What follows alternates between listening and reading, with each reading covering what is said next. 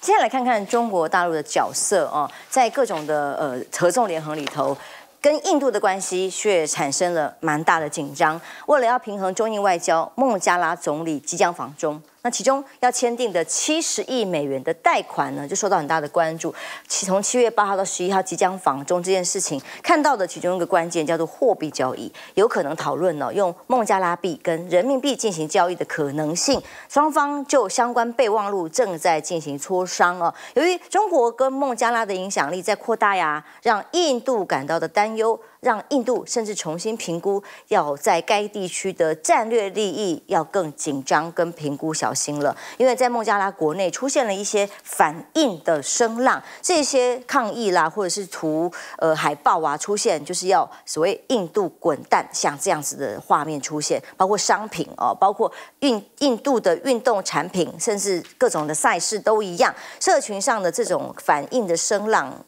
出现了越来越多专家分析哦，因为包括现在孟加拉有一点亿的人口，购的购买力又不断增长，却因为跟中国的关系越来越密切，中国投资也越多，尤其是中国对外资投资的友好、有利可图的这可能性，让中印走的呃中。跟这个孟加拉走得越来越近，但相对跟印度却关系非常的紧张，所以中国解放军呢还在五月份准到了孟加拉哦，首次展开过金色友谊二零二四的陆军联合军演，更展示双方不只是在经济上合作，在。军事上也会联合演习，那印度紧张啦，所以印孟加拉总理哈希纳访中之前，莫迪还抢先跟他在六月二十二号，呃，一起签署一份扩大合作协议的各种啊，包括国防关系这些联合训练呢，希望能够建立互相在拉拢孟加拉跟他们的关系啊。但是中印边境的紧张却是越来越多的演习事件或者是边境的冲突，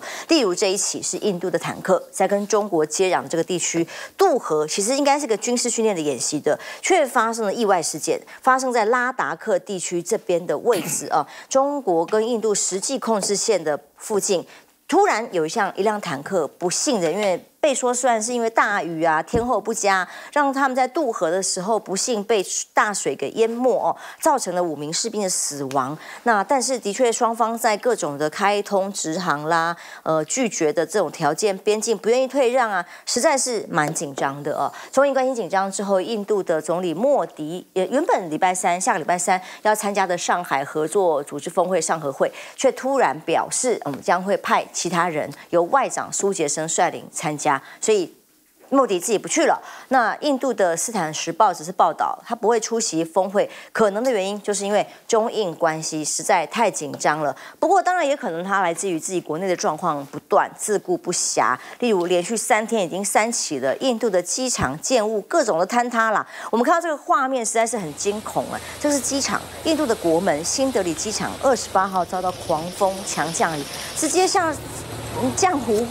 糊的一样，整个全部塌下来、垮下来，航下的屋顶、梁柱坍塌，造成了一死八伤，这是不可思议的画面。那二十九号，印度西部也一样哦，有传出了类似的意外，出现刚刚启用的机场顶棚，大雨居然太下太大。直接倾泻的情况之下，就整个倒塌了，所以才启用三个月的机场就发生倒塌，在中部也有类似的情况，连续三天的三起，对于重大的交通建设来讲，国内的这些公事公法到底有没有受到很安全或者是合合乎国际规范的标准，连政府机关也受到很大的挑战啊。亮哥看到中印关系的紧张跟孟加拉之间的多边关系，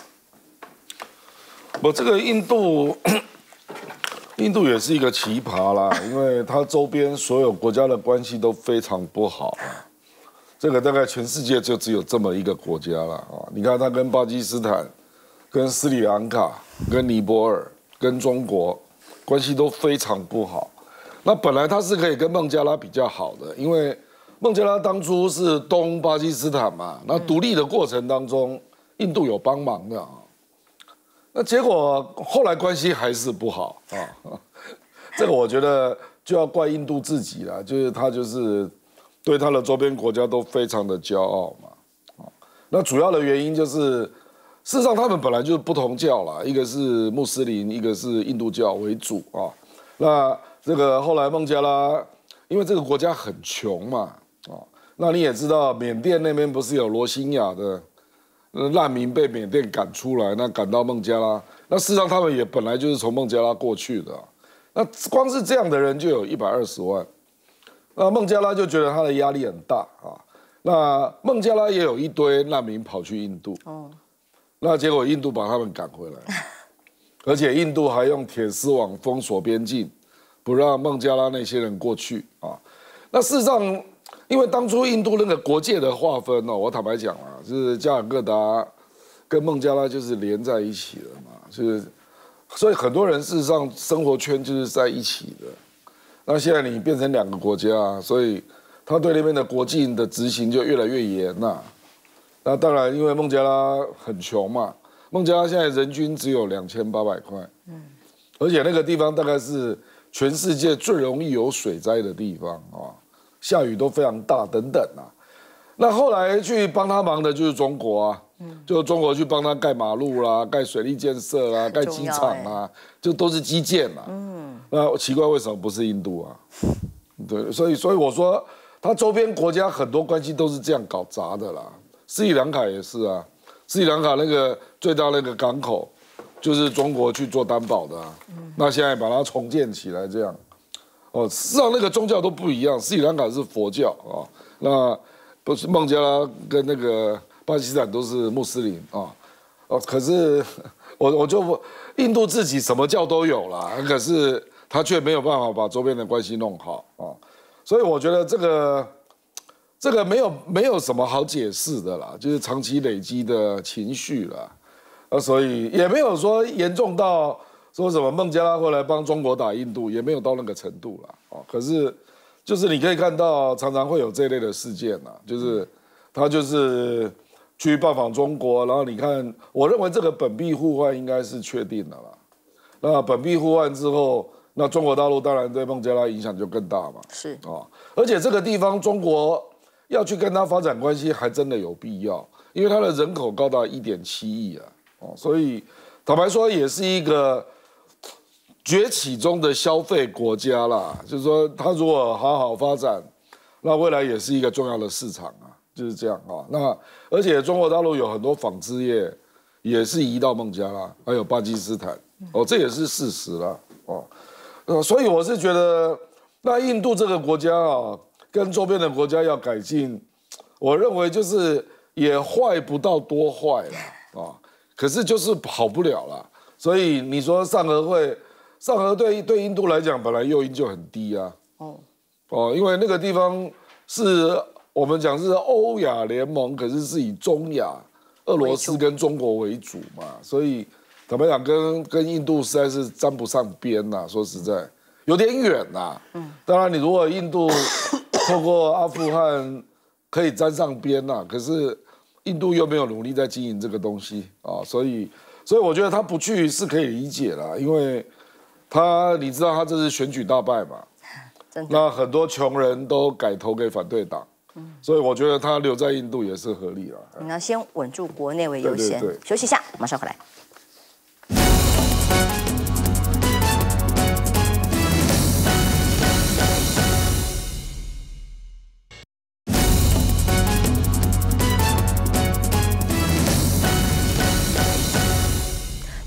期被说紧张嘛，所以以至于连莫迪本来要参加的上海的上合会都不参加了。这个如果说莫迪去的话，大概会见到习近平，然后会见到巴基斯坦总统，他可能也不想面对啊。所以这个这个当然就是说是一个很很好的一个借口了。但整整体来讲，印度印度政府是没有提供任何的理由说为什么不去哈。但他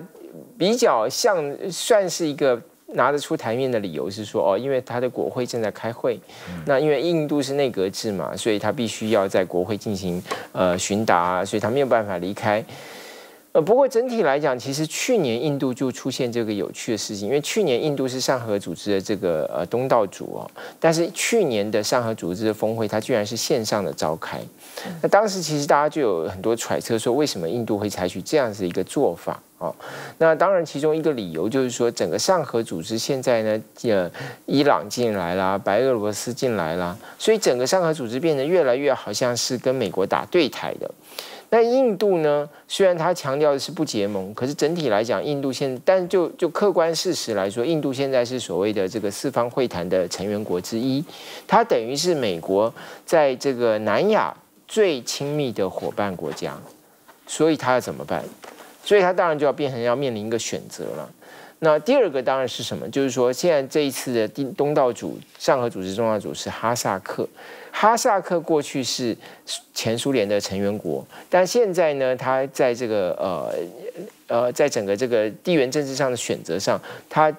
亲中国大陆更多于亲俄罗斯，因为他很担，他有他很担心，普京会重新想要把这些旧的前苏联的成员国通通都并入他的领土，所以他需要中国大陆加码来维持他的独立。所以呢，本来印度在这个上合组织里头，他最可靠的伙伴是俄罗斯，结果他现在要这个举办的东道主的国家是一个跟中国大陆比较亲、跟俄罗斯比较远的国家，所以这两个原因，我觉得加起来就使得他觉得说，那他还是不去好。所以一个是跟美国的关系，一个是跟在，一个是跟俄罗斯的关系啊，这两个其实我认为是他他考虑的最重要因素。那这也就反映出印度的一个。困难之处，因为本来上合组织是反恐的一个重要的基地，而印度它的这个所谓的安全困扰里头，很核心的就是。恐怖主义的攻击，尤其是在莫迪本人他对穆斯林的政策，很多人认为他比较敌视穆斯林的情况下，他要怎么去应对恐怖主义攻击是很重要的一个课题。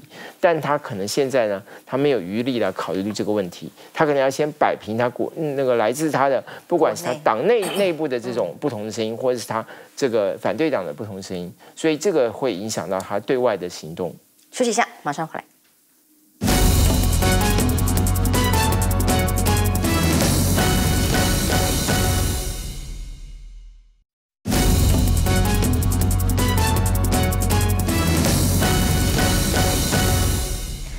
关系虽然是有冲突，不过目前为止只是在紧张的关系里，还没有办法真，还不会有真的大的冲突发生吗？其实真的，他们要两个国家发生大的冲突很难啊。虽然说我们看到，哎，最近有新闻啊，啊，印度的这个战车演习啊，居然可以开到河里面啊，也被水给冲走，感觉好像印度啊在实施备战，刻刻准要准备要跟啊中国大陆可能是不是要玩真的？但其实这两个国家啊，在这个地球上来讲，它有一个非常。呃，非常吊诡的一个恐怖平衡，怎么说呢？我们大家刚刚前面那个呃，左老师啊，那个那个呃，也都讲到，就是大那个印度哈，其实地势非常平坦，但也因为如此。印度哈，它那个需要这个雨量哈，需需要的用水，因为它全国也大概十四亿人多，它现在人口是全球最第一大的嘛。那它的水从哪里来？哎，它的水龙头都从喜马拉雅山上下来，而且水龙头的对吧？这个开关就等于在那个张那个北京的手里。所以对于哈这个新德里来讲，它要能够有足够的这个水来供养这十四亿人的话，其实还要看北京脸色。哎，但你说北京就因此这个掌握这个战略高地，然后可以对这个呃那个印度予取予求吗？也没有。